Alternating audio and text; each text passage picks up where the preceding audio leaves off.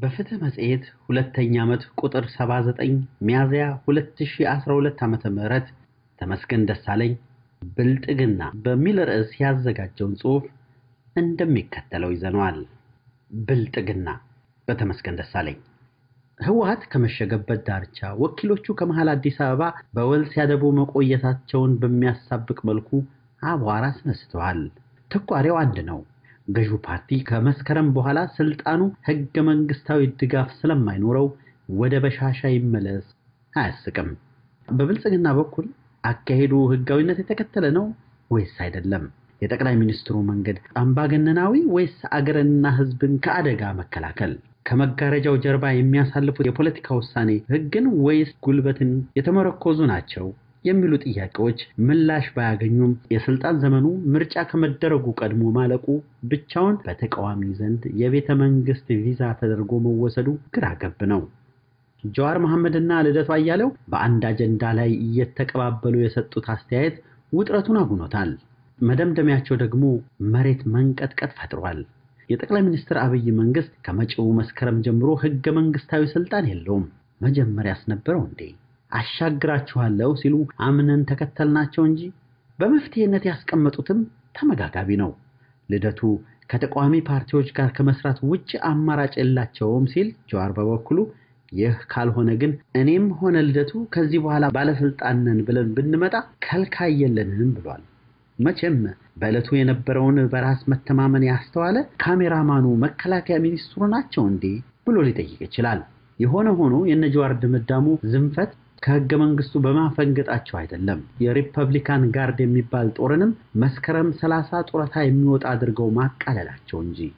አባዬ ከመከላከያ መዋቅር የተነጠለ በሚገባ የሰለጠነና ዘመናዊ መሳሪያ የታጠቀ ሰራዊት ሲገነባ ትንፍሽ ሳትል ህግ በተጣሰ ቁጥር እንደ አሜሪካ ፕሬዝዳንት በጠቅላይ ፍርድ ቤት የሚታይ አታስመስለዋ። የኮሎኔሉንና የኮሮናን ተጽዕኖ ወደ ታች ላቆየውና ስለ ስሁት ጥምረቶችና አሰላለፎች ሸራፊ ማስታወሻ ልጥቀስ። የትብብር ርግማን በየትኛው መንፈስ እንደሆነ ባይገለጥልኝም የኢትዮጵያ ፖለቲከኞች እንዳይተባበሩ የተረገሙ ይመስለኛል። ተጣምሮ መጣረስ፣ ተጋብቶ መፋታት፣ ተቀናጅቶ መቀጨት፣ ተባብሮ መሰባበር መገለጫው ከሆነ ግማሽ ክፍለ ዘመን ተቆጥሯል።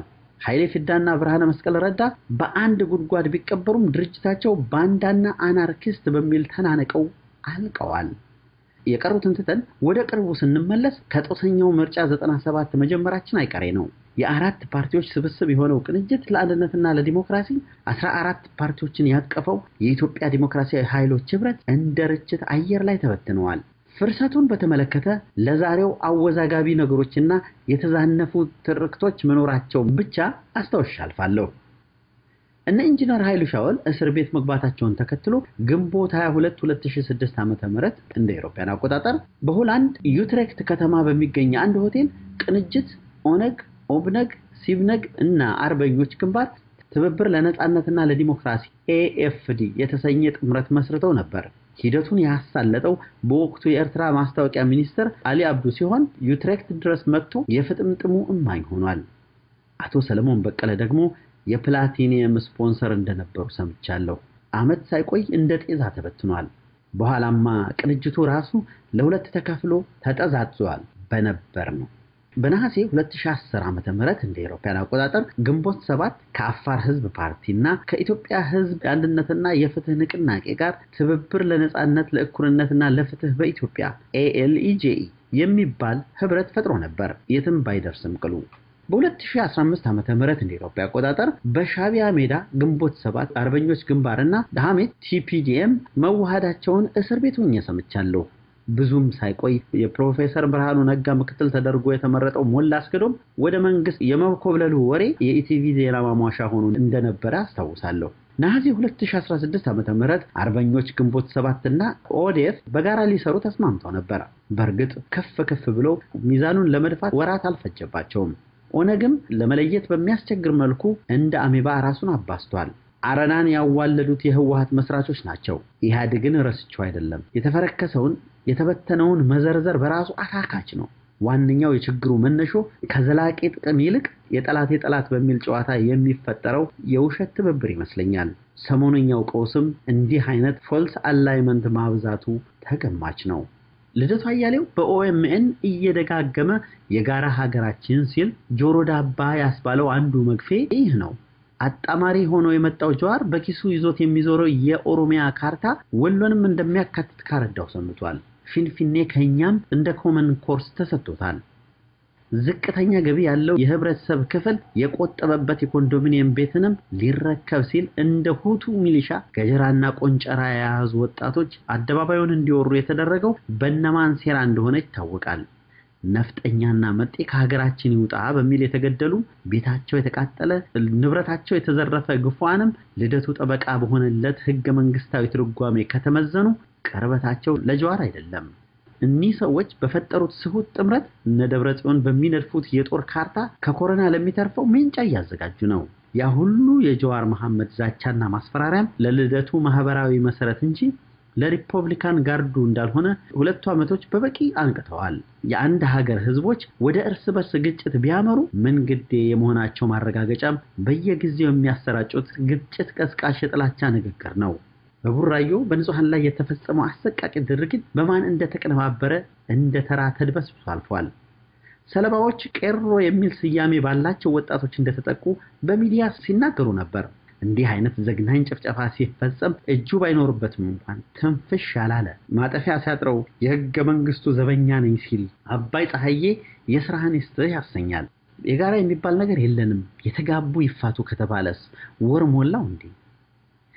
ጀዋርና ልደቱ እየተቀባበሉ ሀገራችን የገጠማትን ችግር በጋራ ካልሆነ አንወጣውም ሲሉ በፖለቲካና ጀሶን እንጀራ ብለው በሚሸጡ አረመኔዎች መሃል ልዩነቱ ይምታታብሃል። መገዳደሩ ሲያቀት አቅም ሲያጥር ውጤት እንደመና ሲርቅ ዶክተሩ የጠቅላይ ሲላ ምላጭን ምላጭ ሲላጨው አገር የጋራ ነው ይሉሃል። ሲረጋጉና ሲጠናከሩ ደግሞ መጤና ሰፋሪ በሚል ደረጃ ያወጡልሃል። አራስ ቤት ተኝታ ልጆቿ ፊት በድንጋይ ተወግራ የተገደለችው መጫት ጉዳይ ግን እምን ደረሰ? ይህም ሆኖ ከልደቱ ሀሳብ ጋር የሚያስማማኝ አንድ ጉዳይ ይህ መንግስት ውስብስብ ችግሮችን ብቻውን አይወጣም ያለው ነው። ጠቅላዩ አደገኛ ሁኔታዎችን ሳይቀር ከተቋምና ከመርህ አፈንግጠው በብልጠት ለማለፍ ሲሞክሩ ተስተውለዋል። የትላንትናው ዛቻና ፉከራም የዚህ ማሳያ ነው። መቼም ወታደሩ ህገ መንግስቱን የመጠበቅ ግዴታ ከአደባባይ አመፅ ብቻ አይደለም ከቤተ መንግስትም ዱለታ ነው። የጨበጣ ስልጣንም የጨረባ ምርጫን ያህል ጎጂ ነው። በጥቅሉ በየትኛውም ጎሳ ውስጥ ያለ ጠርዘኛ ዘውጌ አቃፊ መስሎ ማታለሉ ነባር ስልቱ ነው። የኦሮሞ ደም የኔ ደም ነው በሚል መርህ የተገኘው ድል ወደ አንድ ብሔር የተጠቀለለበትን ቅጽበት ለመዘንጋት ጊዜው ገና ነው። ጀዋር ንግግሩን ሲያሳርግ ህዝቡ በየቦታው ጫና ማድረግ አለበት፣ ከኮሮና ራሱን እየጠበቀ ያለበት አውድንም በደንብ ቢያብራራው አፈጻጸሙን ያቀለው ነበር። ጎዳና ላይ ስንወጣ ሜንጫችንን በጓንት ይዘን መንገድ የምንዘጋበትን ግንዲላና ድንጋይ በሳኒታይዘር አጥበን ርቀታችንን ጠብቀን አፍና አፍንጫችንን በማስክ ሸፍነን down down አብይ አስቂኝ ነው። ነገረ ህወሓት ህገ መንግስቱን አንድም ቀን አክብሮ የማያውቀው ህወሓት በስሙ እየተገዘተ ለማስፈራራት በሚያደርገው ጥድፊያ ነውር አገሯ ወዴት ነው ያስብላል። በአንድ በኩል ጀነራሎቹ እንደ ኦነግ ኢትዮጵያ ስትፈልግ ብትንትኗ ይውጣ ይላሉ። በሌላ በኩል ፖለቲከኞቹ ከእኛ በላይ አዛኝ ላሳር በሚል ያወዛግቡናል። መቼም የድርጅቱ ቁልፍ ችግር ከአራት ኪሎ መሰደዱን አምኖ አለመቀበሉ ነው። ዛሬም መራራው ሽንፈት አልተዋጠለትም። ግርግሩ የሰጠውን ያለመከሰስ እድል ተጠቅሞ ህዝብን ከማረጋጋት የጋራ አገር ከመፍጠር ይልቅ ቀን ከሌት ወደ ቤተ መንግስት መመለስን አስልቶ የሚያደርገው እንቅስቃሴ አደገኛ እየሆነ ነው። እንደ ኦህዴድ እና ብአዴን ስሙን ባይቀይሩ እንኳን ከማተራመስ አጀንዳው ተገቷል። የጦረኝነት ስሜቱን አለዝቦ የብልጽግና ተገዳዳሪ ሆኖ ቢመጣ የኃይል መመጣጠንን ለማንበር ጉልህ ድርሻ ይኖረው ነበር። ምርጫው ያደረገው ግን ጥርሱን የነቀለበት የሴራ መንገድ ሆነ። በቅርቡ የፖለቲካ አስተላለፉንም ይቀይራል። ከቅያሬውም ጋር ፌዴራሊስቶቹ ተጥለው በዜግነት አቀንቃኙ ተጠልሎ ለመከሰት ይሞክራል። ከወዲሁ ድለላው ጦፏል። በአየለ ጫሚሶና በስቄል ጋቢሳ ምርኩዝነት ከደደቢት በረሃ እስከ ውቤ በረሃ መጓዝ ጨረቃ ላይ በመሰላል እንደመውጣት የማይቻል መሆኑን ተረድቷል። በዝውውሩ መስኮት አጥቂዎችን ለማስፈረም እየተሯሯጠ ነው። ምን ለማለት ነው? በልደቱ ስትንጫጫ ከደብረ ጽዮንና ጀዋር ጋር የጋራ መግለጫ ለመስጠት የሚያሟሙቀው ኢትዮጵያኒስት ቁጥር ጨምሯል። የሰሞኑ መነታረኪያም ያበዱ የአመፁ ጠሪራ እንጂ ሙሉ መጽሐፉ ገና አልተለቀቀም። እመነኝ ህወሓትን በበጀት እንጂ በጀት አታቆማትም። ጎረቤት ሀገራት ጂኦፖለቲክሱ የኮሮናን ያህል ትኩረት ይሻል። አንዳንድ ተቃዋሚዎች ከጠላት ጋር ይሄዳሉ የሚል ፍረጃ ለወቅታዊ ችግር መፍትሄ አይሆንም። ግብፅ፣ ኤርትራ፣ ሱዳን፣ ሶማሊያ የ24 ሰዓት ክትትል ይፈልጋሉ። ከኮንትሮባንዱ በተጨማሪ አልሸባብና አይኤስኤስም አድፍጠው የሚጠብቁት ቡጥቡጥ እስኪጀመር ነው። የኤርትራ ጣልቃ ገብነት የት ድረስ ነው የሚለው ጥያቄ ምላሽ አላገኘም። ግንኙነቱን ለውጭ ጉዳይ መተው ተቋማዊ አሰራር ነው። ሰውየው ካልቻለ መቀየር እንጂ የቤተ መንግስቱ የጓዳ አጀንዳ ማድረጉ ኢሳያስ አፈወርቂን መሆን ነው። ከምን የዋለች ምን ተምራ መጣች ያስተርታል። አዲስ አበባና አስመራ ከመቀሌ ጋር እልህ መጋባታቸውም በባንዳነት የሚፈረጀውን ቁጥር ያንረዋል። አቶ ስዬ አብርሃ በየካቲት ወር ከትግራይ ሚዲያ ጋር ባደረገው ቃለ መጠይቅ እንዲህ ብሎ ነበር። አሁን ባለው የአካባቢ ኃይሎች ጣልቃ ገብነት በ social media ያለውን ጦርነት እናውቀዋለን። እያየ ነው አይደለ? በዚህ ጦርነት ላይ ጥይት ጨምሪበት። አገራችን ሁሉ የአካባቢ ባለጌ የሚጨማለቅባት ኮማሪት ቤት ነው የምትሆነው። ስለዚህ በዚህ ሂደት ታንክ ቆጥሮ መድፍ ቆጥሮ አሸንፋለሁ ብሎ በዚህ እሳት፣ በዚህ አደጋ፣ በዚህ ክብሪት የሚጫወት ኃይል የትም ይኖር በዛ ክብሪት ራሱም ይቃጠላል። ስዬ ልክ ነው። ገና አንድ ጥይት ሲተኮስ ከተባበሩት መንግስታት አባል ሀገራት ግማሹ እዚህ መገኘታቸው አይቀሬ ነው። ይህንን አይን ያወጣ ጣልቃ ገብነት ነው ዲፕሎማሲ የሚሉ። ማሻሻያው ለማን ጥቅም? ወጉስ ሲባል የነበረው ህገ መንግስት በረመዳን ወር ቅዱስ ቁርአን ተደርጎ እየተሰበከ ነው። በሐሳውያኑ የአንቀጾቹን ድምታ በርኩስ መንፈስ በእንግዳ ሐሳቦች የተሞላ በመሆኑ ረጋሚ አብዝቶበት ቆይቷል። በተለይም በሀገሪቱ በስፋት የተበተነ አንድን ብሔር ለማጥቃት የተቀመሩ ድንጋጌዎች መያዙ የአርቃቂዎቹን ነውረኝነት አስረግጧል። የጸደቀበት መንገድም አሳታፊ እንዳልነበረ ይታወቃል። የተፍታታ ሐሳብ የነበራቸው የፖለቲካ ፓርቲዎች እንዳይታደሙ ታግደዋል። ኦነግ ቀላዋጭ ተብሎ ተባሯል። በሚታመኑ የአደባባይ ምሁራን ላይም በር ተቆልፏል። የትኛውም ህገ መንግስት ስራ ላይ የዋለበት ሂደት የአንቀጾቹን ያህል ዋጋ እንደሚሰጥበት አጥኚዎች የመሰከሩትን ከላይ የጠቀስኳቸው ወንጀሎች ጋር ሲደመሩ ከማሻሻልም ባለፈ ቀዳዶ ለመጣል በቂ ምክንያት ታገኛለህ። ዛሬ ድረስ የሰነበተው በወታደራዊ ጡንቻ እንጂ በህዝብ ቅቡልነት እንዳልነበረ ማስታወሱ የዋጋውን ርካሽነት ያረዳል። በእርግጥ የጸደቀበትም ሆነ የሚሻሻልበት መንገድ ልዩነት የለውም። ህወሓት ከየስርቻው ለቃቅሞ ያመጣቸው ካድሬዎች ስራ ላይ የዋሉትን ኮሮጆ የገለበጡ የፓርላማ አባላት እንዲሻሻል ፈቀዱ። ሐላስ በተረፈ የኃይለ ማርያምም ሆነ የአብይ ፓርላማ መለስ ዜናዊ ያበጀው ነው። ስንትና ስንት አፋኝ ህጎችን ሲያወጥ የከረመ የጠቅላላ ሽከር እያለ የሚፎክር ነው። ወቅታዊውን አጋጣሚ ተንተርሶ ሁሉንም ያማከለ ስርዓት ለማዋለድ ሁሉን ያሳተፈ ህገ መንግስት ማርቀቁ በአቻ ውጤት የተጠናቀቀ ያደርገዋል። በሰጥቶ መቀበል በድርድር የተቃኘ ስርዓት ጫፍ ከረገጠ ልዩነት ይታደጋል። እንዲህ አይነቱ መቻቻል በልሂቃኑና በድርጅቱ መሃል መተማመንን ያነብራል። ህገ መንግስቱ የማን ነው ከሚለው አዙሪታም ጥያቄም ነፃ ያወጣል። ለሶስቱ ህገ መንግስቶች ቀዳማዊ ኃይለ ሥላሴ፣ ደርግና ወያኔ በባለቤትነት ይጠቀሳሉ። ሁለቱ ከመሬት ስር አንቀላፍተዋል። ትናንትና ሜጀር ጀነራል አበበ ተክለ ሃይማኖት ወይም ጆቤ በኦኤምኤን ቴሌቪዥን ያ ህገ መንግስት በወረቀት አይደለም በደም ነው የተጻፈው ሲል በይፋ የትህነግ ፕሮግራም እንደሆነ መስክሯል። ማን ይናገር የነበረ ማን ያርዳ የቀበረ ነው። ምጸቱ ግን ጆቤ ከሰራዊቱ የተባረረው እንደ ቢሾፍቱ ቆሪጥ ደም የለመደ ነው የሚለው ህገ መንግስት በካልቾ ተጠልዞ መሆኑ ነው። ወቅታዊ ሁነት ህዝብ የኔ ነው የሚለው ህገ መንግስት ለማዋለድ ያመቻል። አሮጌና አግላዩን አስወግዶ አዲስ ማርቀቁ ወደ መሃል ለመሳሳብ ያግዛል። ሁሉም ሊባል በሚያስደፍር መልኩ እንዲሻሻሉ የሚያስፈልጋቸው አንቀጾች አሉ። በስልጣን መቆየት የሚፈልገውም ሆነ ሁለተኛ ብሔራዊ ቋንቋው እንዲሆንለት የሚሻው አዲስ አበባ በክልልነት እንድትዋቀር የሚተጋ ጎሳው ቀርቶ ሰውነቱ እንዲረጋገጥለት የሚወደው ለድርድር መዘጋጀት ይኖርበታል። ልደቱን ከጀዋር እኩል ያስመታው የፖለቲካ ህይወቱ ውልደቱም ልደቱም ዜግነቱን የተመረኮዘ በመሆኑ ነው። ህገ መንግስቱ ደግሞ ለብሔር ብሔረሰቦች ካልሆነ በቀር ለሌላው ሰው ጠፊ ነው። ብልጥግና ወቅታዊውን ችግር ያወሳሰበው ብልጥግና ህዝባዊ ጥያቄዎችን በብልጠት በጥገና ደፍቆ መጓዙ እንደ ስንዝሮ የፈጠነ ታሪክ ሆኗል። ወገብ ለማጽናት ጉልበት ለማበረታት ብቻ እየመረጠ አሻሽላለሁ የሚልበትም አሸሸ ገዳሜ ነው። በእርግጥ አብይ አህመድ እንደ መለስ ዜናዊ ብሔራዊ እርቅን አጥብቀው ከሚሸሹበት ገታራ አቋም ካልተገቱ መስከረም ሰላሳ ብቻ አይደለም ጥቅምትም ግንቦት ሰላሳም የፈራ ይመለስ እያለ ወደ አደባባዩ የሚያማትረውን ማብዛቱ አይቀሬ ነው። ከመነሻው ሕግና ተቋማት ላይ ያልተመሰረተ ሪፎርም መዳረሻው የበላኤ ሰው መንግስት ማንበር ነው። ዛሬም እንደ ትላንቱ በአልቦ ተቋማት ከማዝገማችን አኳያ አብይንም ሆነ ብልጽግናን የሚገዳደሩ ፓርቲዎች አስፈላጊነት አያጠያይቅም።